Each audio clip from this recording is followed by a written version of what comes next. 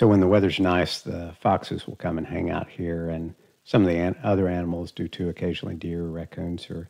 or whatever, and and I guess the birds know where to find them and know that the the animals are going to be snoozing, and and